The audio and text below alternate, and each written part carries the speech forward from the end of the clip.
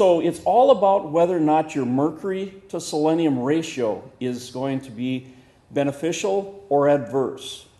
And you were saying that it looks as though now the advisory on how much seafood should be consumed by pregnant women or lactating women, or even those wishing to become pregnant, is going to be changed. What's the background to that?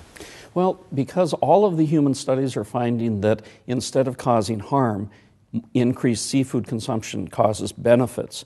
All of the warnings based on assumptions that there were risks and harms from eating seafood have to be tossed because they're not true.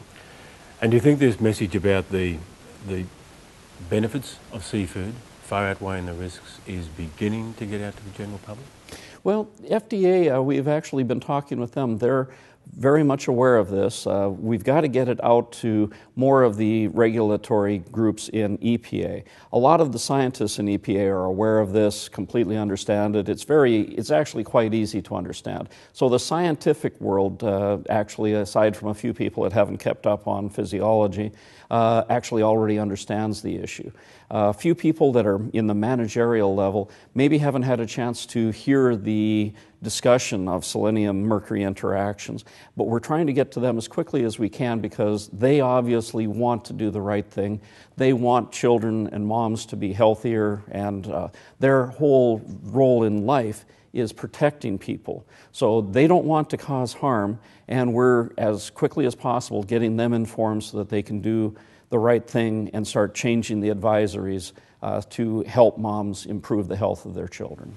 FDA being the US Food and Drug Administration and EPA being the uh, Environmental EPA is Environmental Protection Agency. Actually, the bulk of my funding has uh, been from the EPA.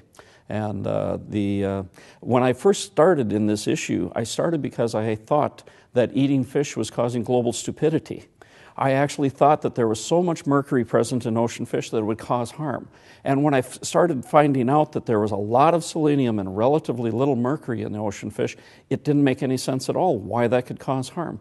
And that's when I found out that the studies that had shown harm, it was pilot whale meat that was being consumed. And yes, it's completely understandable why pilot whale meat consumption would cause harm. There's five times more mercury than selenium. Uh, it also contains the most PCBs of any food consumed by humans anywhere.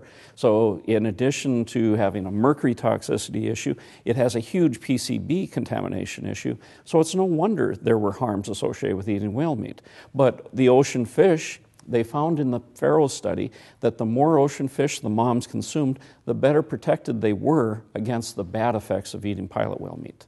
So it's uh, pretty much a completely consistent story now. Uh, there is no controversy really about this issue. The only controversy, controversy that still exists is that some people haven't understood the interactions between mercury and selenium once they have heard a one hour lecture on this, or even a 15 minute lecture, it's kind of like, oh, well, why didn't you say so?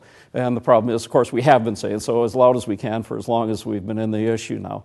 Uh, but the word is finally getting around, and I think it's going to change the issue very soon. Of course, the sooner the better, because we don't want any moms to be avoiding eating ocean fish especially since they're avoiding eating ocean fish because they're concerned about that causing harm to their children if they're trying to avoid causing harm to their children and they're eating less ocean fish and causing the very harms they were trying to avoid, that's just so poignantly sad. I mean, we can't allow that to continue. We have to get that fixed.